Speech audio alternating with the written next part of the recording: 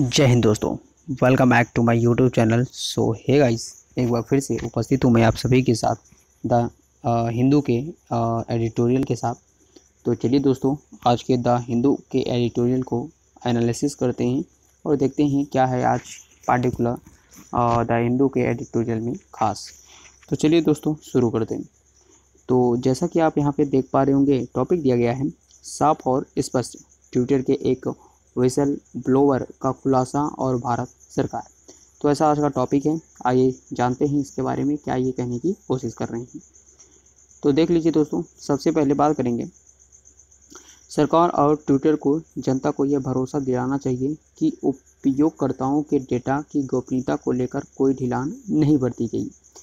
तो आ, अच्छा ये सब टॉपिक है। किस रेफरेंस में ये सारी चीज़ें बात करी जा रही हैं दोस्तों? आइए इसको डीप में जानने की कोशिश करते हैं।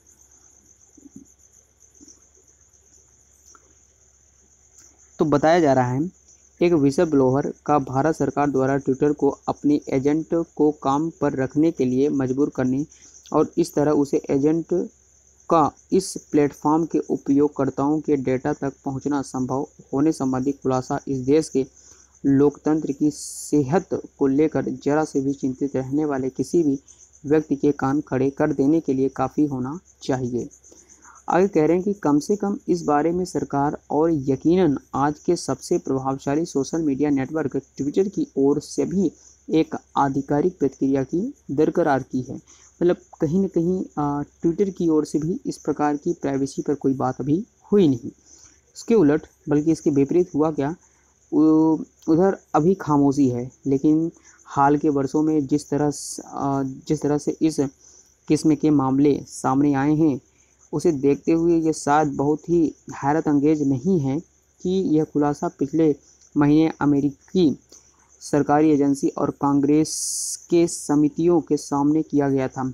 लेकिन सी एन एन और द वाशिंगटन पोस्ट द्वारा पिछले हफ़्ते इस बारे में खबर छापे जाने के बाद यह मामला लोगों के सामने आया। इसके बाद आगे यह भी बताया गया है इसमें कि यह खुलासा करने वाले विसल ब्लोवर साइबर सुरक्षा विशेषज्ञ पीटर मुज जाटको हैं, जिन्होंने नवंबर 2020 में सुरक्षा एवं गोपनीयता से जुड़ी चुनौतियों से निपटने के लिए जैक डोरसी द्वारा संचालित एक ट्विटर की मदद करने के लिए लाया गया था। उन्हें इस साल की शुरुआत में श्री डोरसी के उत्तराधिकारी पराग अग्रवाल ने निकाल दिया था।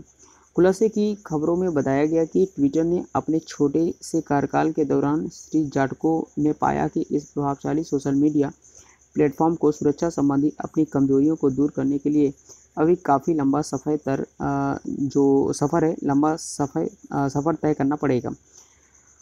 आगे ये है कि खबरों में यह भी कहा गया कि उन्होंने ट्विटर की भारी और गंभीर खामियों को उजागर किया। लेकिन श्री जटको के खुलासे के हिसाब से ट्विटर ने अपनी बाहरी दुनिया को एक बहुत ही अलग संदेश दिया है। और इस तरह उसने उपयोगकर्ताओं से लेकर निवेशकों तक, संघीय व्यापार आयोग से लेकर एलॉन मस्क जो हाल तक इस सोशल मीडिया नेटवर्क को खरीदने के इच्छुक थे, तक सभी को धोखे में रखा है। चलिए थोड़ा आगे देखते हैं दोस्तों। बस छोटा ही है इस पैराग्राफ को पढ़ेंगे। अब आगे ये भी बताया जा रहा है, आगे कहा जा रहा है उनके थ्रू कि इस पूरे मामले में भारतीय कोण भले ही एक छोटा सा पहलू हो, लेकिन यह चिंताजनक रूप से दुनिया के सबसे बड़े लोकतंत्र के लिहाज से श्री जटको के मुताबिक कई प्रकरणों से यह पता चलता है कि ट्विटर में विदेशी खुफिया एजेंसी की घुसपैठ थी और यह ट्विटर लोकतांत्रिक शासन को खतरा पहुँचाने की कवायद में भागीदार भागीदार था के दायरे में आता है। निश्चित रूप से उनके खुलासे के इस हिस्से जिसकी सबसे महत्वपूर्ण पंक्ति है, भारत सरकार ने ट्विटर को कुछ खास लोगों को नियुक्त करने के लिए मजबूर किया।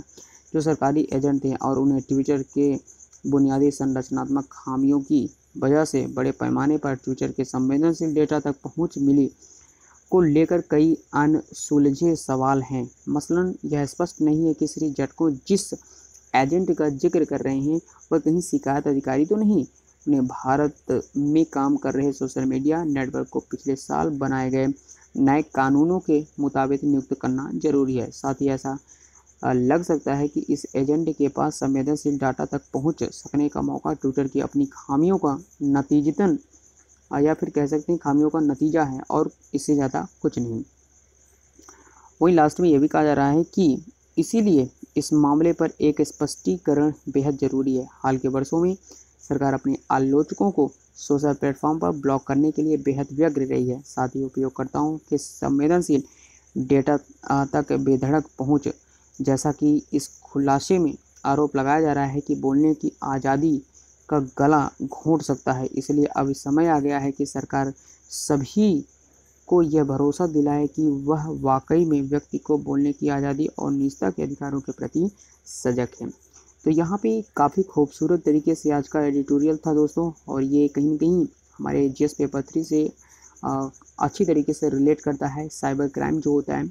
तो उसमें से दिखाया गया है कि जो ट्विटर के विसल ब्लोअर की जो समस्या है और भारत जो सरकार है वो अपने लेवल पे अपने नागरिकों के लिए क्या कर सकती है इन सारी चीज़ों के बारे में इस पार्टिकुलर एडिटोरियल में बताया गया है।